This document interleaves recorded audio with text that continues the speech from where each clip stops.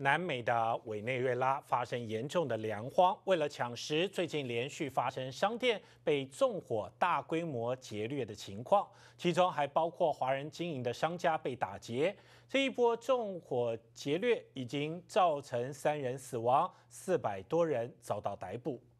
委内瑞拉海边城市库马纳的超商、服饰店、卖酒的商店都被民众抢劫一空。抢华人商店的民众说，因为华人商店不卖吃的给他们，当时他们只有用抢的。其中有几许多人都已经好几个月没有吃到肉，还有许多家庭已经好几天都没有进食。